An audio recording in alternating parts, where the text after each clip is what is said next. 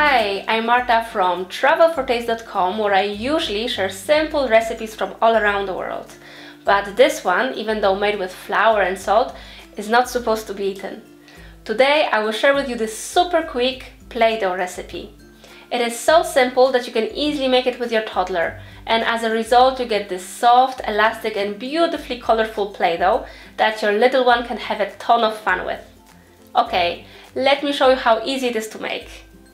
As always, you can find a list of the ingredients in the description box below the video. We start by sieving 2 cups of flour. To this we add 3 fourths of a cup of salt, 4 teaspoons of cream of tartar, which I bought on Amazon and I will also link it below the video. I let my little one to stir it well and then I add 2 cups of warm water and 2 tablespoons of oil.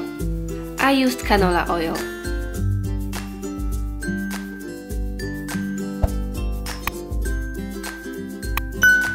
Now I transfer it all to a stove and on a medium heat while stirring all the time I let it thicken.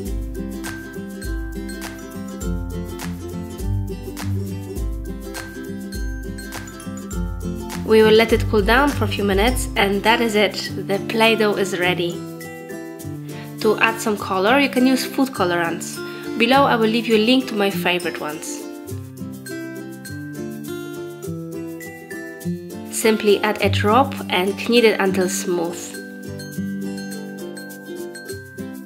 At this moment you could also add some sparkly glitter or a few drops of your favorite essential oil.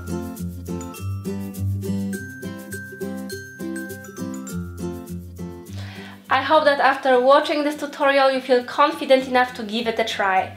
And if you would like to see some of my actual food recipes, you can click here. And don't hesitate to subscribe to my channel so that you're up to date with all my newest recipes. Thank you for watching and I hope to see you soon. Bye!